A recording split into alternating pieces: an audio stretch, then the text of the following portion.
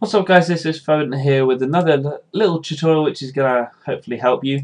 Now many people have asked me this so um, I think I'll do it and it is one of these things where you won't really know um, until you actually just like play around with it and then it's like oh that's how you do it or if you actually understand the terms.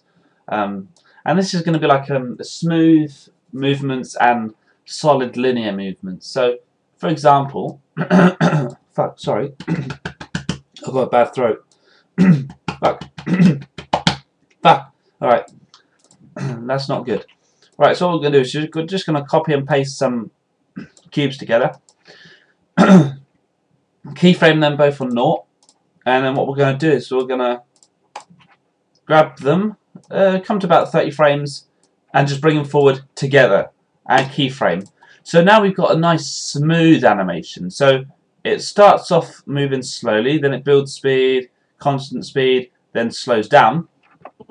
What we're going to do for this one is we're going to add a linear movement onto it. So what we do is we click the keyframe, and where it says interpolation, you want that to linear. And you want that for both keyframes. So from this keyframe to this keyframe there is a linear motion, which means there is a constant speed between the two. There's no starting off slowly, you know, it just bang out into the speed. So if I now play it, you can see what happens. Do you see the movement?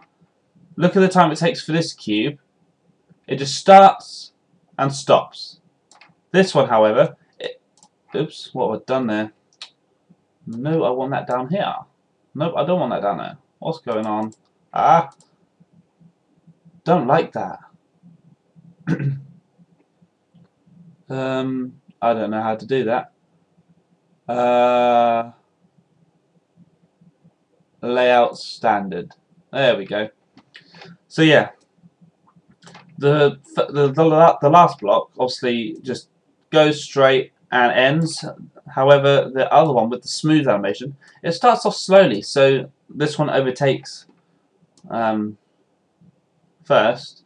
However, once it builds speed, it speeds up really quickly and then slows down again. However, they both land in the same position on frame 30.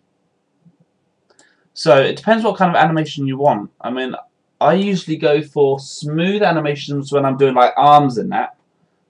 However, if I'm going to be doing an animation, um, instead of doing like a, a, whole fight scene in one project, I'll cut it up into several projects. Um, so I'll do one little like a kick and a punch, and then I'll save that as a project and then I'll go into another project, change the camera, and then just carry on the fight scene, just so it doesn't fuck up. Um, however, the like the positions are the same on the character, so that's what I would do. At the start of an animation, I'll just you know go to frame zero, select everything, right click, select children, and then I'll click on this keyframe and go to linear, and it will say multi because you've got multiple values, and that means anything that starts off with, it starts out with a, like you know a fast movement. You know, it goes straight into it, and then the same with the end. It ends with the same fast movement. So when you're trying to edit the clips together, it doesn't just go, oh, you know, um, to, you know, speed up, quick, slow down, speed up, you know, slow down, speed up, slow, slow down, as it would with a smooth animation. So having it linear, it would just be bang, bang, bang, bang, bang, um, constantly going through, and it's really nice for editing and you won't have to cut off some frames and whatnot.